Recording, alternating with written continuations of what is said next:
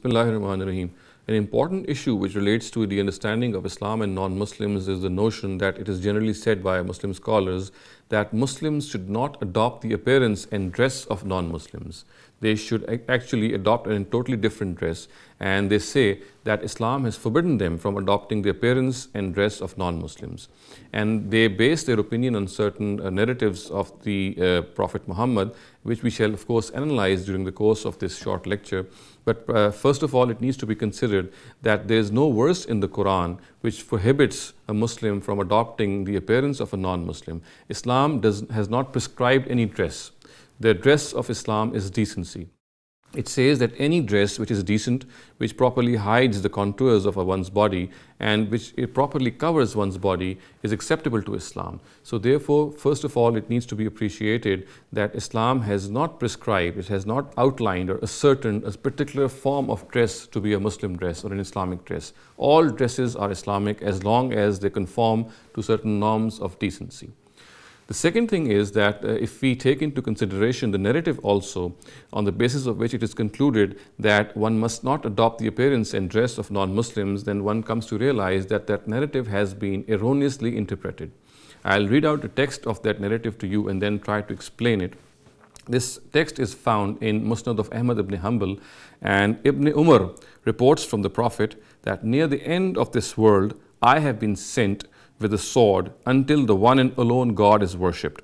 My livelihood has been ordained in the shade of spears, and humiliation and subjugation has been ordained for those who oppose me. And those who adopt the ways of a nation are like them. So this last sentence, which in Arabic, uh, the Arabic words are, Man tashabbaha biqawmin fahuwa minhum.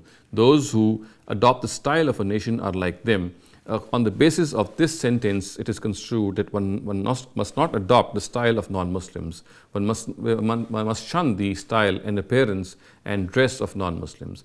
Now, if we study this narrative in detail and also uh, try to look for its original, uh, its basis and principle in the Quran, one will easily come to the conclusion that in the Quran, the specific law which is, relates to the messengers of God is actually mentioned in, in such detail that a lot of narratives of the Prophet Muhammad, they also they also explain this, this, uh, this law in various forms. And this narrative is nothing but an explanation of that law. The law says that in the times of the Prophet Muhammad, the Almighty punished the people who had intentionally denied the truth. And they had punished them very severely. And of course, in this punishment, any, any nation who adopts the same ways as those of the Prophet Muhammad's nation did, then of course, they shall also be punished in a similar manner. So the, the words man tashabbaha fahuwa minhum, which in some narratives have been reported in the absolute sense without any background, they have a particular context. They say that if the Prophet's nation shall be punished because it had intentionally denied the truth, then this shall not just be the case with his nation.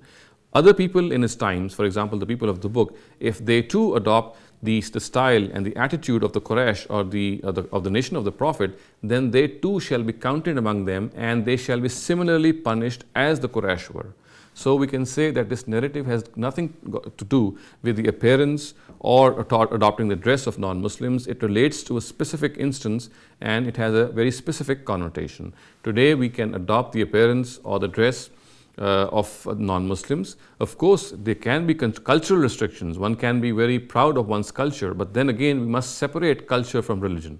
Religion and culture are entirely two different things. One cannot say that, for example, one cannot wear trousers or one cannot wear jeans or coat because they belong to non-Muslims or they are the products of the Western civilization.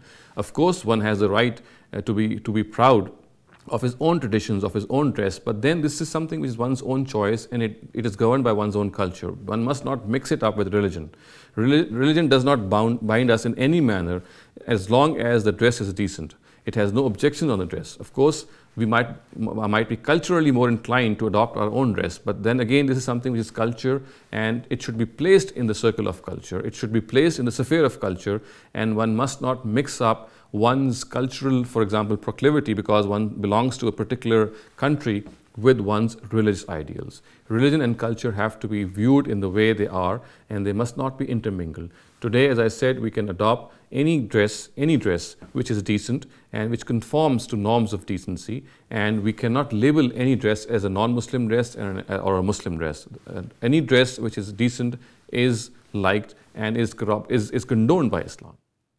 أقول قولي هذا واستغفر الله لي ولكم ولسائر المسلمين والمسلمات.